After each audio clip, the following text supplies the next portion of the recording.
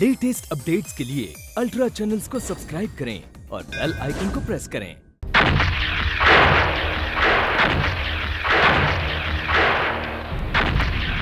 क्रांति अठारह great Indian mutiny पर आधारित है। ऑक्सफोर्ड डिक्शनरी के अनुसार म्यूटिनी शब्द का मतलब सत्ता के खिलाफ सशस्त्र बगावत है। परंतु ब्रिटिश सत्ता भारत में गैर कानूनी और नाजायज थी। इसके खिलाफ बहादुर देशभक्तों ने चुनौती देते हुए वतन की आज़ादी के लिए अपने प्राण न्यौछावर किए। दरअसल, ये आज़ादी की पहली लड़ाई थी। नाटक के सारे पात्र एवं घटनाएँ पूरी तरह ऐतिहासिक और सच्चे नहीं हैं। कहानी के अनुसार, इनमें कई घटनाएँ एवं पात्रों को दर्शकों की रुचि के अनुसार जोड़ा घटाया गया है। हम पूरी तरह ऐतिहासिक सत्यता का दावा नहीं करते।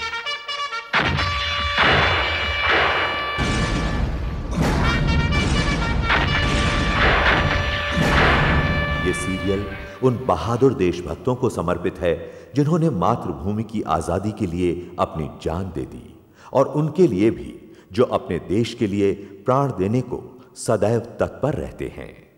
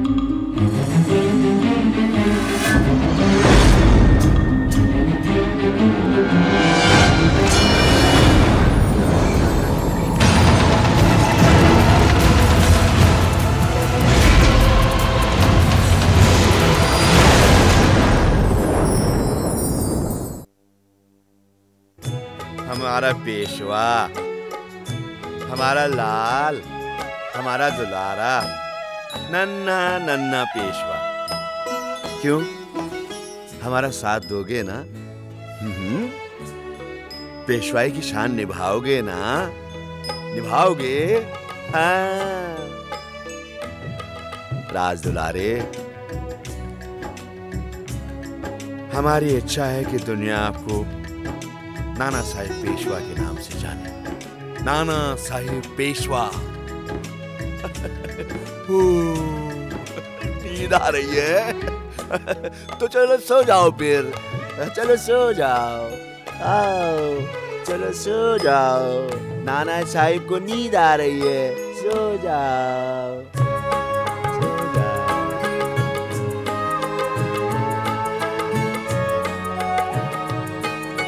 सो जाओ।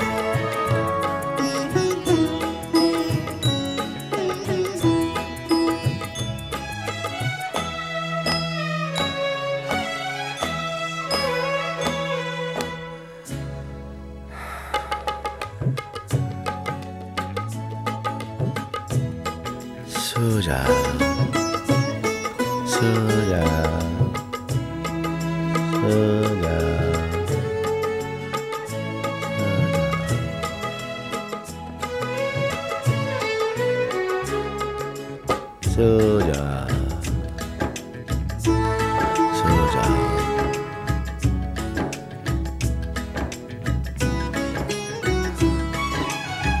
सो जाओ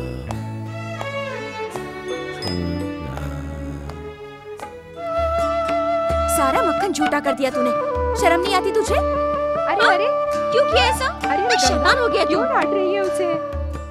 ये शैतान नहीं है रे ये तो मेरा नटखट माखन चोर है। रोना नहीं बेटा, चुप हो जा। रोना नहीं, चुप हो जा, चुप। कहाँ छिपा था इतने दिन?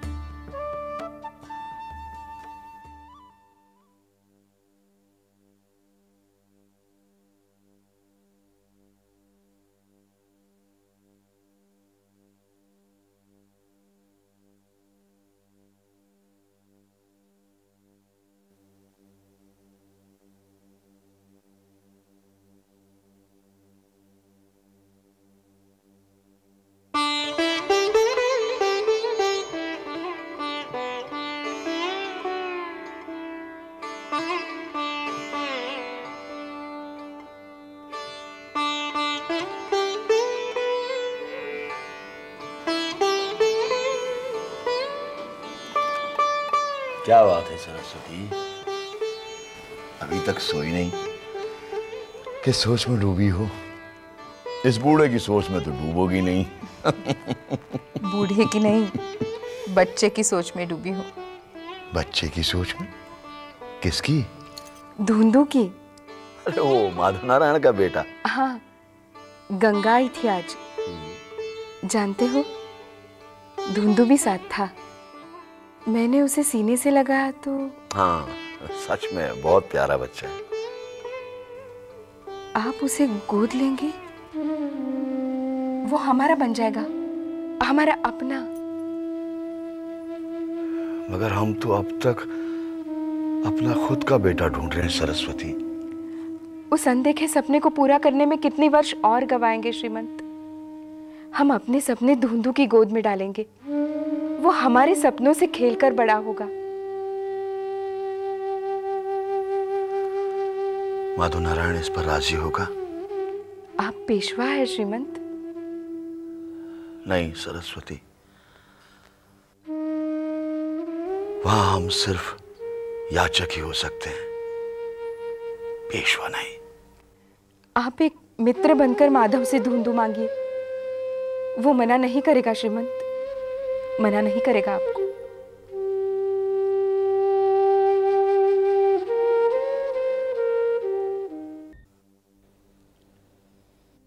हम एक अजीब उलझन में फंस गए माधव नारायण। सदैव आप हमारी उलझनों को सुलझाते रहे श्रीमंत। आज तुम सुलझाओ माधव। शायद मेरी वो योग्यता नहीं श्रीमंत। प्रश्न योग्यता का नहीं। माधो। भावुकता का है। श्रीमंत। अगर हमारे घर के आँगन में सूखा पड़ा हो और पड़ोसी के आँगन में फुलवाड़ी तो हम क्या करें? पड़ोसी से कुछ फूल लेकर अपने आँगन को भी सजा लेना चाहिए श्रीमंत। क्या पड़ोसी अपना फूल देगा? उसे फूल देना चाहिए श्रीमंत।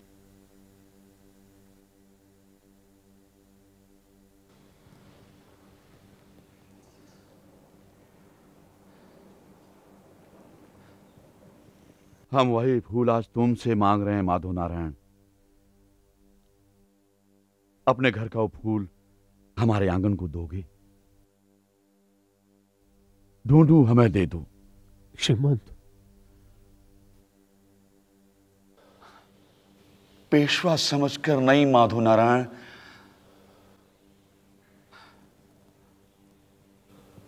हम एक याचक की तरह उत्तर देना।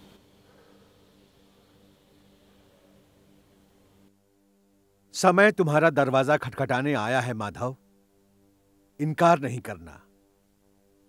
यह मत भूलो कि तुम्हारे इस जवाब से इतिहास का रूप बदल सकता है।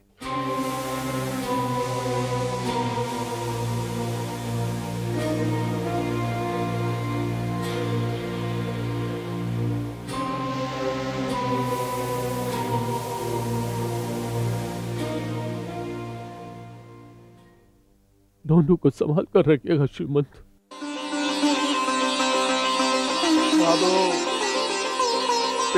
खानदान तुम्हारा ऋण सदैव याद रखेगा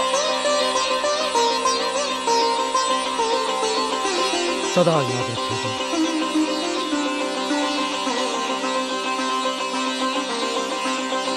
पंडित जी।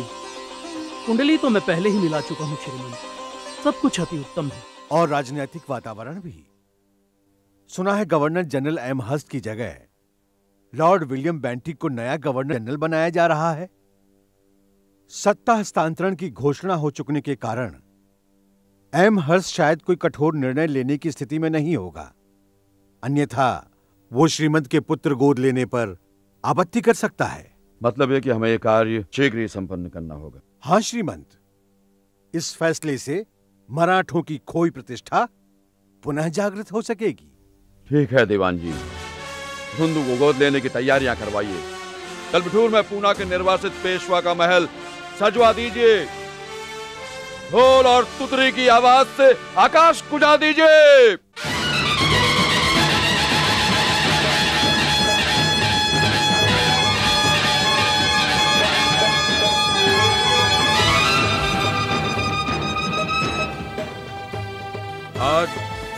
वैदिक विधि के अनुसार माधव नारायण और गंगाबाई अपने पुत्र ढूंढू पंत को पेशवा बाजीराव और रानी सरस्वती को सौंप रहे हैं। माधव नारायण जी संकल्प लीजिए।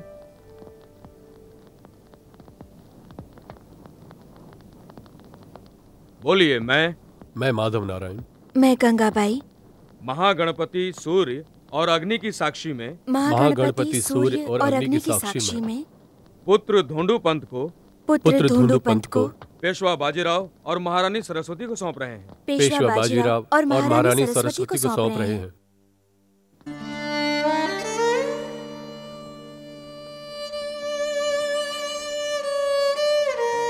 जाओ बेटे। जाओ बेटा आज से तुम पेशवा बाजीराव के पुत्र हुए।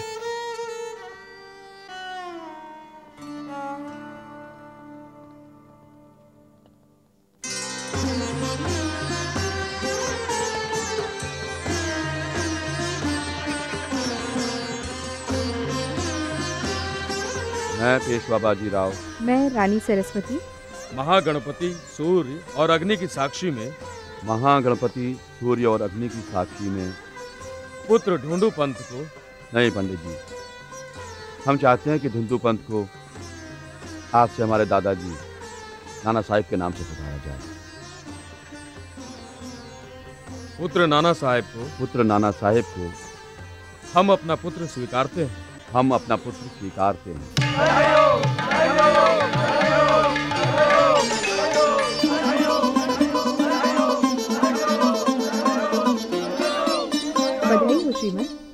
मराठाओं को उनका पेशवा मिल गया। पेशवा नहीं महारानी बस पुत्र मिला है। फिरंगी नाना साहब को पेशवा की उपाधि नहीं मिलने देंगे। क्षमा श्रीमंत माता की दृष्टि से कह रही हूँ। नाना साहब श्रीमंत की उपाधि को तो छोड़ेंगे नहीं और अगर अंग्रेज़ अड़े रहे तो वो अपने निर्णय पर पछताएँगे। इतना विश्वास है तुम्हें? माता का विश्वास मिथ्या नहीं होता श्रीमन। गंगाबाई का हृदय तो देवकी का हृदय है। इस यशोदा का हृदय भी यही कह रहा है। ये अच्छा लो। संभालो अपने नाना साहब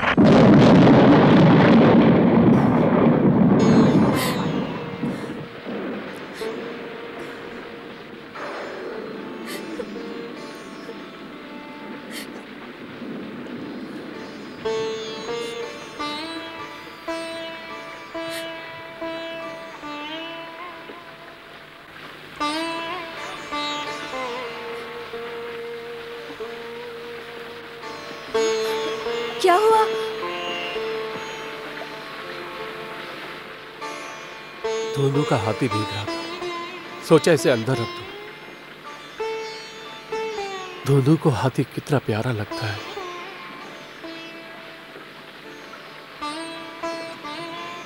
धोंधू वहाँ किससे खेल रहा होगा?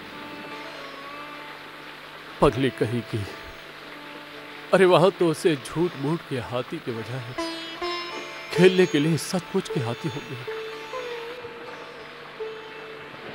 उसे कोई कमी है वहाँ? हमें तो है ना? आप भी नहीं सो पा रहे हैं। सब कहते हैं, तुम देव की हो। पर देव की कहलाकर क्या करूँगी मैं? याद तो आएगी ही ना। आँसू तो बहेंगे ही ना। माँ अगर रोती है तो बेटे कमज़ोर हो जाते हैं। क्या तू चाहती है कि तेरा दूध कमज़ोर हो जाए? नहीं। तो फिर ये आँसू पहुँच ले और समझ ले अपनी औलाद के बिना। हम जागती आँखों से सार रात काटेंगे ताकि हमारा दूध चैन और सुख से सो सके।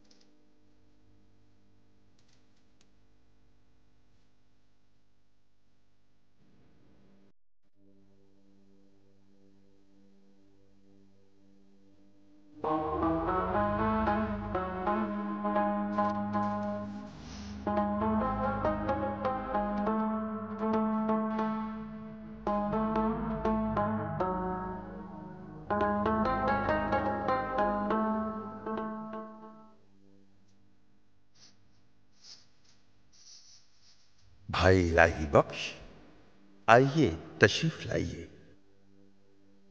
ये अपनी आदत के खिलाफ आज इतने सवेरे कैसे उठ गए आप?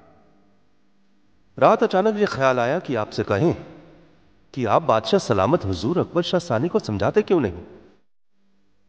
कि जरा एहतियात से काम लिया करें। एहतियात? एहतियात कैसी बिरादरों? मुझे अच्छी तरह मालूम है कि अंग्रेज़ हाकिमों को शाही दरबार के तौर तरीके पसंद नहीं। ये रोज रोज का नाच गाना, शेर व शायरी, उन्हें फूटी आँख नहीं भाता। मुझे डर है कि कहीं अंग्रेज़ हाकिम इन्हीं बातों को बहाना बनाकर कोई सख्त कदम ना उठा ले। ये सब आप इसलिए तो नहीं कह रहे। क्या आप अंग्रेज़ों के काफ़ी करीब हैं? जी नहीं। यह सब मैं इसलिए कह रहा हूँ कि मैं आपका समझी भी हूँ और आपका खैर ख्वाह भी मैं चाहता हूँ कि अंग्रेज़ आपके बारे में अच्छी राय कायम करें। हमारे बारे में? मगर हमारे बारे में ही क्यों? सारी दुनिया जानती है कि बादशाह सलामत के बाद अल्लाह उनकी उम्र दराज करे। सल्तनत मुगलिया का ताज आप ही के सर पर रखा जाएगा। ये मत भूलिए बिरादरम कि हमारे और भाई भी हैं। और अगर उनमें से किसी ने भी तख्त ताज की ख्वाहिश ज़ाहिर की तो बखुदा हम बगैर किसी तकल्लुफ के उसके हक में दस्तबरदार हो जाएँगे। उफ आप हमेशा कुर्बान होने को क्यों तुले रहते हैं? इसलिए बिरादरों कि हम सिर्फ़ एक शाहजादे ही नहीं एक शायर भी हैं। हम बहादुर शाह ज़रूर हैं, लेकिन हमारे अंदर एक ज़फ़र भी है, और हम चाहते हैं कि ये दुनिया हमें बहादुर शाह बादशाह से ज़्यादा शायर ज़फ़र के नाम से याद रखे। आप बहुत भोले हैं, मगर मेरा ख्याल है कि फिरंगी किले के मामलात में दखल देने का मौका ढूंढ रहे हैं। मियाँ फिरंगियों के बारे में तो बकौल मीर यही कहा जा सकता है। दामन पे कोई छींट न खंजर पे कोई दाग। तुम कत्ल करो हो